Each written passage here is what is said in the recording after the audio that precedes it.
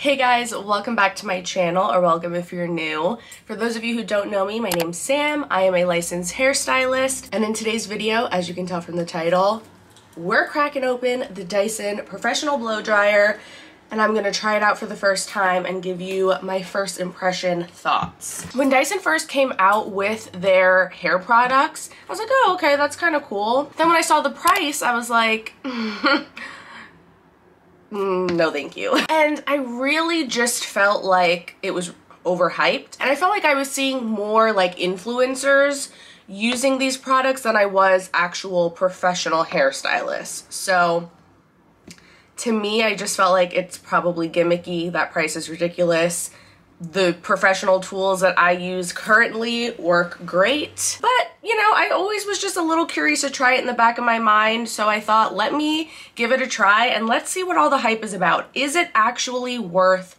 the high price tag?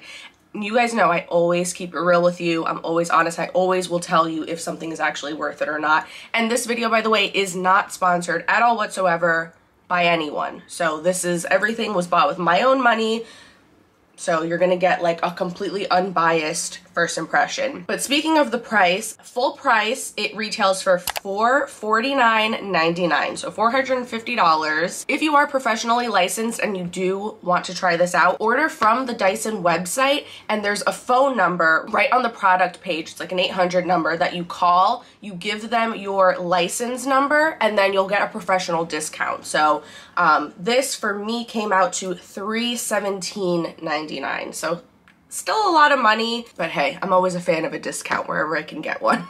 so this is what the box looks like. It's still wrapped in the plastic and everything. I haven't even opened it at all. This is what it looks like. I will say it is very sleek. Okay, so it comes with a diffuser and then I'm assuming this is like a heat resistant, yeah, like a little pad that you can place down to rest all your hot tools on. And then there's this box. You have multiple different concentrators. So a more narrow one, a more open one. Oh, and then an extra filter. And then it comes with the manual. In the manual, it explains all of the different pieces, all of the settings and buttons on the actual blow dryer, um, safety information, all that kind of stuff. So you have your on and off button here, slides up and down. You have a cold shot button. Um, you have temperature control, which is this button. There's four heat settings, so you press and hold to deactivate heat and set style. Oh, and then there's little lights. Obviously it's off now so you can't see, but there's little LED lights that light up on the side here so you can see which setting you're on. And then this is airflow control. So basically it's like your speed here and then your heat and temperature on this side. Um, so, so far not too different than the blow dryer I already have. Ooh. Okay, that is pretty cool. So these are magnetic, all of the nozzles. Ooh, and it's, it is really on there. I like that. And you can still move it around, but you don't have to worry. Like, you have to, like, really tug to get it off. Okay. Um, this cord is absolutely ginormous. For comparison, I'm 5'2". I could use this cord as a jump rope. That's freaking long. That's nice. All right, so enough jabbing. Let's get this plugged in. So I'm gonna just do everything the way I normally would when I blow dry my hair. I just got out of the shower. I've been letting it air dry for the last like 20 minutes or so. That's what I always like to do whenever I'm blow drying my hair to help like cut down on blow dry time. Um, I'm gonna spray the Wella Thermal Image Thermal Spray for heat protection. And then I'm just going to section my hair. I'm not going to do anything fancy, just a standard blowout just to smooth out my curls and, you know, get it dry. I'm using a two inch round brush and I think I'm gonna do the concentrator. I will say I do like the shape of it. Like it feels good in my hand and it's not heavy at all. And what I like too is that this part is shorter so it's not as top heavy. So I feel like it might be a little bit gentler on my wrist than a traditional blow dryer that is a little bit heavier up top. The cord is a little heavy though. So I don't know, we'll see as I'm using it.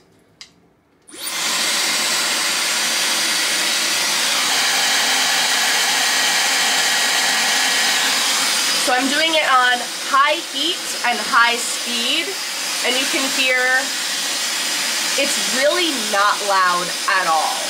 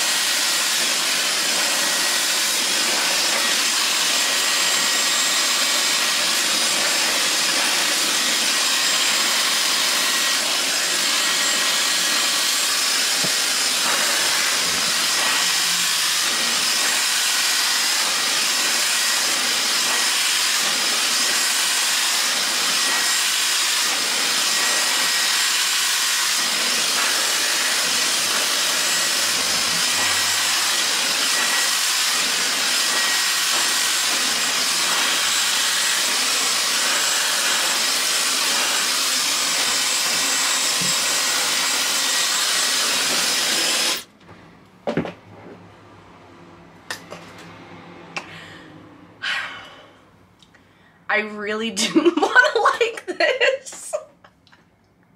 I really, like, I went into this video, I, I mean, trying to be as unbiased as possible, but, like, I really expected my reaction to be like, yeah, it's okay, but, like, but my regular blow dryer works just as well. Have you been to a public restroom that has the Dyson hand dryers? You know how the air just comes out and it just shoots the water right off of your hands and it dries them in like two seconds?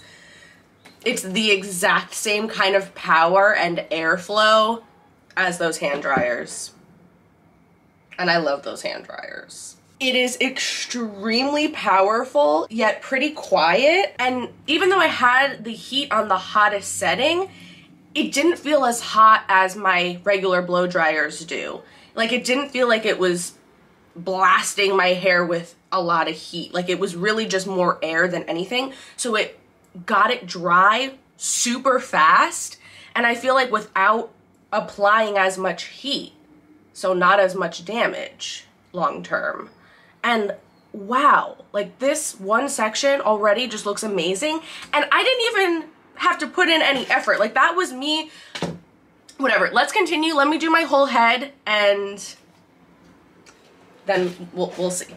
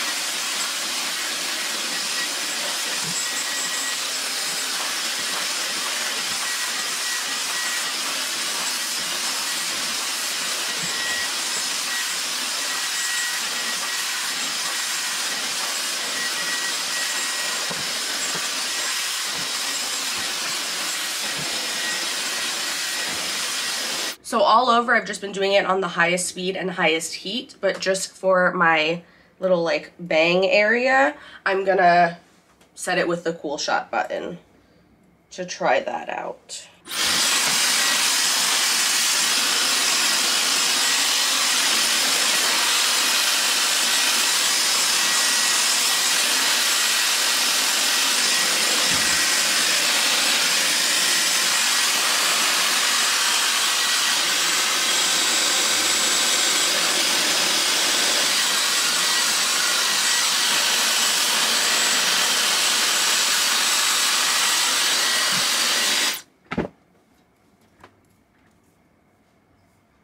So for the cool shot button, you actually have the option of holding this button down or you can just keep pressing the heat button until you turn the heat off and then it'll just be on the cool setting without you having to hold this button down. So you have two options depending on what you're doing and what is easier for you, which I really like that. Because sometimes when I'm using the cool setting, it's a pain in the ass to have to like flip back and forth between cold setting and hot setting. So it's nice to be able to just hold down that button. But if you're doing like a whole big section, sometimes holding down the button is annoying. So it's nice that you can do either or. But uh, here's how my hair looks.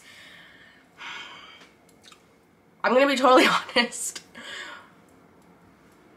With the technique that I just did, like just like that quick, no rhyme or reason, no like real specific technique, just kind of like a messy, quick blowout.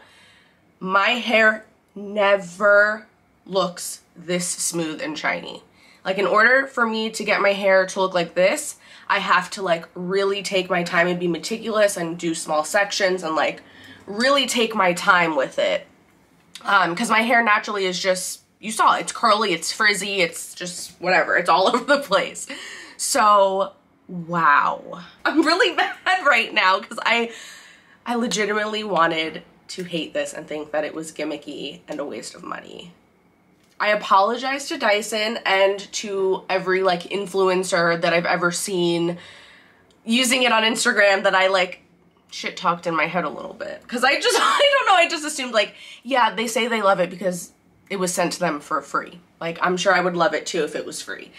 But so let's compare a little bit. Let me insert a clip of my hair normally what it looks like after I do this exact type of blowout with my regular blow dryer so that you can compare how it looks as far as like the smoothness and the shine and all of that. As far as how it felt to actually use, it felt really good. It is very lightweight. Like I said, the cord is a little bit heavy, but I feel like because the actual like unit itself is so lightweight, it balances out. Here's the tea though, okay? Do you need this blow dryer?